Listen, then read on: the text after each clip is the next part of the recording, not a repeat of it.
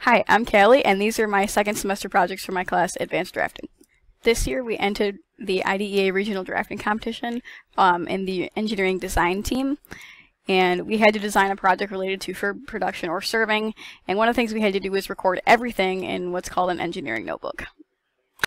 In our engineering book notebook, we had to record everything that we did. This included brainstorming, research, the modeling, and the prototyping stage. To conduct research, we visited our culinary classes we have here at Joliet Central, searched online to make sure that our design has never been created before, and we had to brainstorm and actually draw out sketches for our prototype. After coming up with some sketches for our prototype, we went into Inventor to create the 3D models. So we did the base, all the individual cutters, and the dowel rods, as well as the handles. After finalizing the sketches, we started to go into prototyping. So we used the laser cutter to create an initial cardboard, cardboard prototype. And after that, when we had fixed all the little kinks, we moved on to a sheet metal and uh, 3D printed prototype. Before we knew it, competition day arrived, so we had prepared a PowerPoint presentation, the trifold board, our printed out our drawing files, brought our prototypes, and we made some cookies to make the judges happy. At the end of the day, we ended up taking second place and assumed that we were heading on to state, but there was a little bit of a mix-up, so we ended up not going. This is just another picture post-regional competition. Although we didn't advance the state, I still wanted to showcase all the work we had put forth because we did spend a total of three months on this project. So after we created our new sketches, we decided to model these again in three in um, Inventor. So you can see this is our initial base with now um, cookie cutters already made into the plate. This is our locking mechanism, uh, the clips, and then the pin that would hold them into place. All the dowel rods are now individual and not directly attached to the cutters themselves. These are the handles. And this would be a lid so that way you can store everything, all the pieces that go with the cutter inside of the whole piece.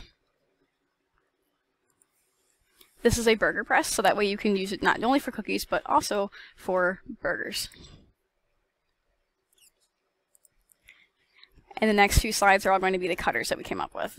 They're now tapered, so that way you can make a cleaner cut.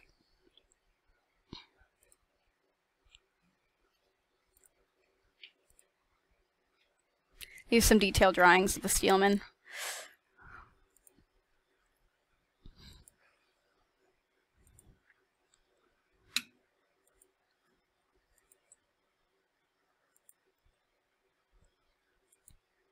And that's that.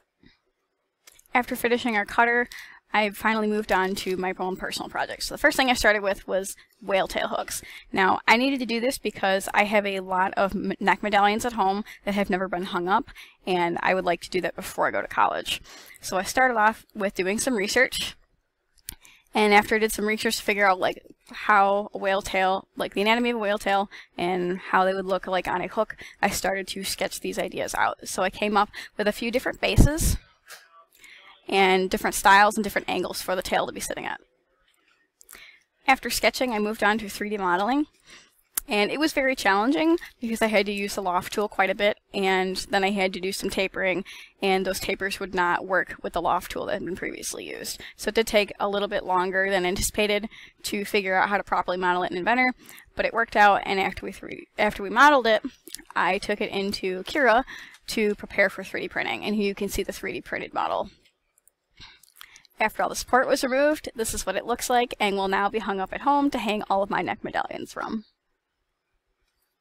Next I moved on to building a CO2 dragster. So first I had to do some research and I found um, a couple different things that I could model my car off of. I found example CO2 dragsters and I also looked at actual dragsters from real life. I actually discovered in my research that these things called shark fins actually reduce turbulent airflow and I realized that on the sketch that I had come up with for my dragster that I needed to add this fin so that way I could reduce the airflow, or turbulent airflow right here above where the CO2 canister would sit.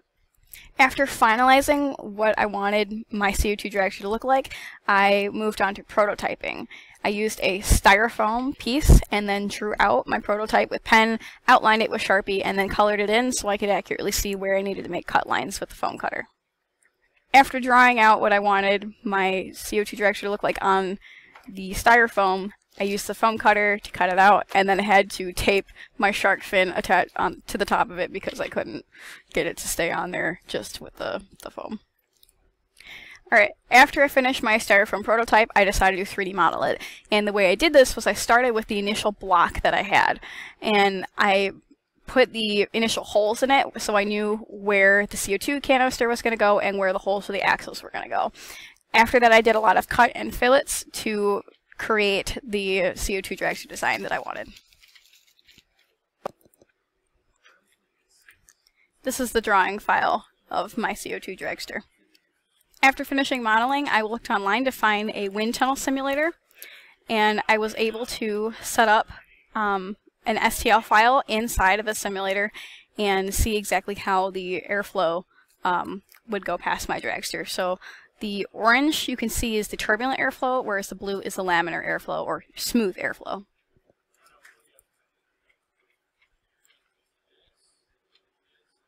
After making some minor adjustments to the shark fin, we prepared the dragsters to be 3D printed. Here you can see the different stages they went through throughout the 3D printing process.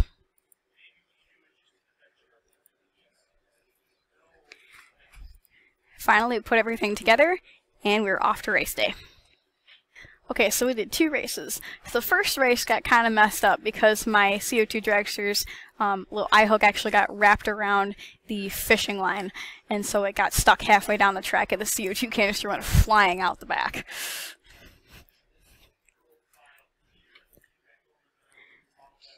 You can see that on the left that the dragster got stuck. And on the right, it completes the race. And I won. Throughout the past year I've been in advanced drafting, I've learned a lot and really honed in on my skills using AutoCAD, Inventor, Photoshop, Adobe, and um, the 3D printer and the laser cutter. Now what's really nice about this is that I'm going to be studying mechanical engineering when I get to college. Um, I'm going to be going to Northern Illinois University and